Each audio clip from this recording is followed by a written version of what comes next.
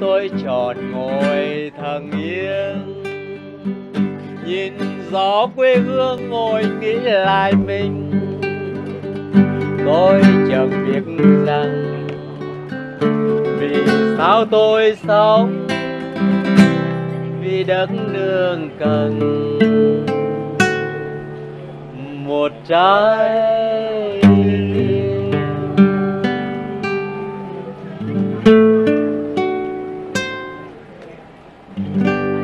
thực tình mà nói là mình là quê hương ở Bình Định mình là chuyên gia về vấn đề là đông y nhưng mà mình yêu nhạc và mình thích thì đêm nay cũng là một cái đêm mà quận Tây Hồ tổ chức một cái cuộc mà để mở là một con, con phố mà mặc dù rất là ngắn nhưng mà mang tên của nhạc sĩ Cố Trịnh Sơn cho mình là dù mưa dù gió thì mình cũng vẫn mang đàn ra đây. Trịnh Công Sơn là học cường để và cũng là học bên khoa sư phạm cùng với chú nhà mình. Chú nhà mình là ông Hoàng Ngọc Sang là một ban nhạc Hoàng Sang hồi xưa là của thành của thị xã Quy Nhơn. Nhưng mà nói về tình yêu của Trịnh Công Sơn trong nhạc Trịnh Công Sơn là nó rất là rộng các bạn ạ. Và những ca từ mình không phải nói nhiều nhưng mà các bạn cũng hiểu dù nhỏ hay lớn dù à, già hay trẻ họ đều biết à, vài ba câu của những bản nhạc nào của của cố nhạc sĩ Trịnh Công Sơn và khi hát tới nhạc Trịnh thì họ thấm dùng rằng là trong đó nó có cái cái cái uống nước nhớ nguồn và những cái đạo lý nhân văn và những cái câu ca từ mà gần giống như mà hàng ngày mình không nói. Nhưng khi hát ra rồi là mình sẽ hiểu được cái sự việc mà Trịnh Công Sơn đang nhắc nhở mình đang làm gì.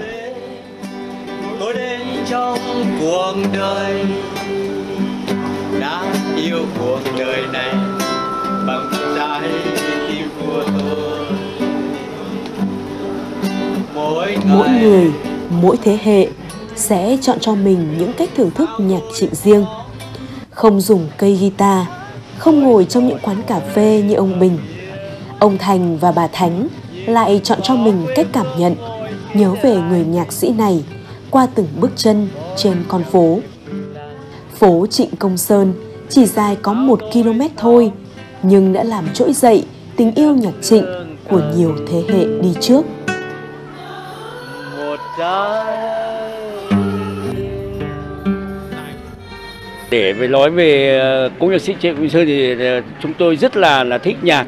Chính vì thích nhạc, đâm ra đội mưa, đội gió ở đến đây để coi như là dự cái ngày lễ khai mạc của cái phố để mang tên ông. Nhân để hôm nay mà đi ờ, đến đây mà ngày khai mạc mà rời thì mưa, mọi người là sẽ đội ô đi và đội lón đi, mà áo mưa đi.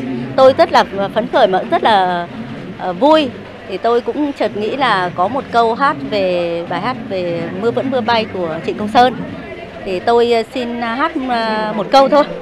Uh, Mưa vẫn mưa bay trên tầng tháp cổ Dài tay em vẫy có Ca từ trong các tác phẩm của Trịnh Công Sơn, lời đẹp, ý sâu, âm điệu nhẹ nhàng, êm ái. Có lẽ chỉ ông mới đưa được những sự vật bình thường trở thành lạ thường. Nhạc sĩ Trịnh Công Sơn, kẻ du ca đã khuất bóng, nhưng dấu ấn để lại chẳng thể phai mờ. Bởi ông đã viết, đã hát về quê hương đất nước bằng cả tấm lòng của những đứa con biết vui tận cùng những niềm vui và đau tận cùng những nỗi đau của tổ quốc dù người nhạc sĩ một cõi đi về đã ra đi và trở về với cát bụi nhưng ông vẫn luôn tồn tại qua từng ca từ, giai điệu và thời gian.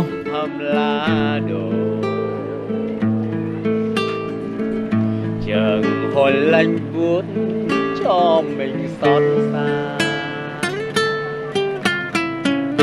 Chiều nay còn mưa, sao em không lại? Nhớ mãi trong hằng lên nỗi đau. Bước chân em xin về mau. Mưa vẫn hay mưa cho đời biển động làm sao em nhớ những vết chim gì? Xin hãy cho mưa qua miền đông rồng